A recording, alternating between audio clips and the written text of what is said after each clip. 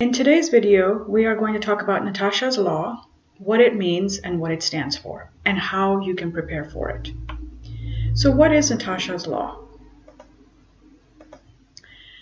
Natasha's Law was created, uh, Natasha was a teenager that bought a pre-packaged food item which contained an allergen that she wasn't aware of. When she consumed that sandwich, she subsequently had a reaction to that, an allergic reaction, and then later passed away.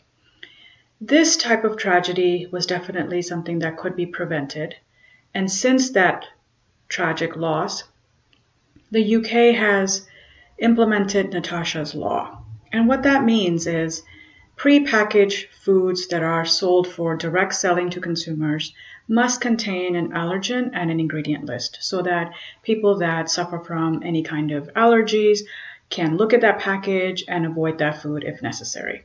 So in today's video, we will talk about how you can comply with that rule, how why does it apply to you, and in what criteria uh, does it apply. So the goal, as I mentioned, of this rule is to display the allergen list for PPDS. Now, a food and beverage business, we want to avoid any more tragic loss, and so we are trying to be more transparent and display all of the ingredients and the allergens within that food so that the consumer can make an informed decision. That is the basic goal of this rule. So what types of foods need this identification? Natasha's law states that any food that is set for PPDS. Now, what does PPDS mean? PPDS is pre-packed foods for direct sale.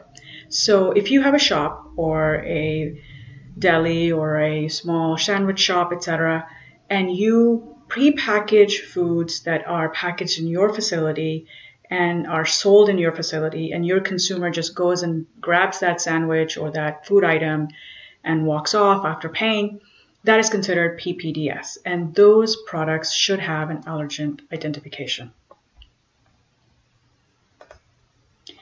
So what is the difference between just a regular packed food and a PPDS food?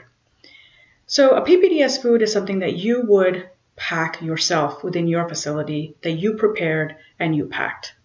A pre-packed food would be something that you perhaps purchase and sell in your shop. So for example, if you purchase a Danish from another business that you then sell in your shop, that Danish, which is prepared and packed by another vendor, would already have an allergen identification and an ingredient list on that package. So you are not responsible for displaying that since it already has that information on the package. The consumer, when they're selecting that Danish, will just read that information on the package and make that choice if this is the right food for them or not. If you sell any type of custom made products, for example, if, a, if your consumer comes up to you and says, I'd like to order this type of sandwich or this type of pizza, which is then custom made for them and it is not prepackaged, that does not qualify for Natasha's law.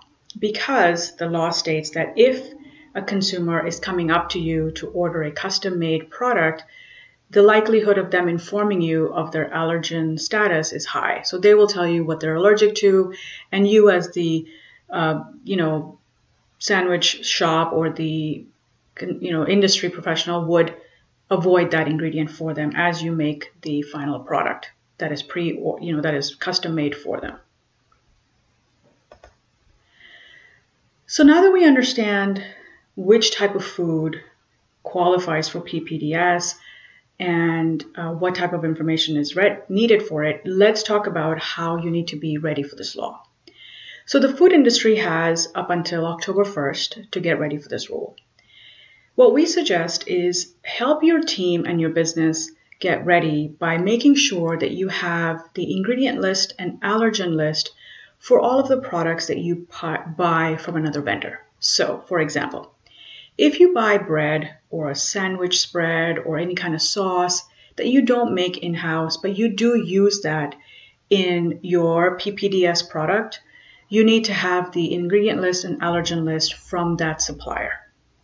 So contact those suppliers, get those in your house, in your business so that you can look at the ingredient list and allergens and determine what your final products list will look like. For example, if you create a sandwich where you purchase a bread uh, or a sandwich spread from another business, you then need to make sure that um, the bread and the sandwich spread, along with all of your ingredients, contain uh, the, the allergen list is displayed for all of the ingredients. So a consumer walks in, they buy your sandwich, they know exactly what was in the bread, in this you know sandwich spread that you bought from another vendor, and any of the ingredients that you have added to that sandwich, which is pre-packaged. And then they can make that choice to say, okay, if this is something they can eat or not. So get ready by gathering all of that information, having that in your team, teach them how to read that information, and then create a process so that you are ready for this rule. Now, how do you display that for your package? What the law states is the consumer needs to be able to identify on the ingredient list which items are the allergens. And you can either do that by bolding them, such as the example I'm showing you here. You can do any other type of color or any other, you know, capitalizing, etc. As long as you clarify that this is how the allergens are identified on your ingredient list so that the consumer can easily just pick it up and look at it and decide if this is for them or not.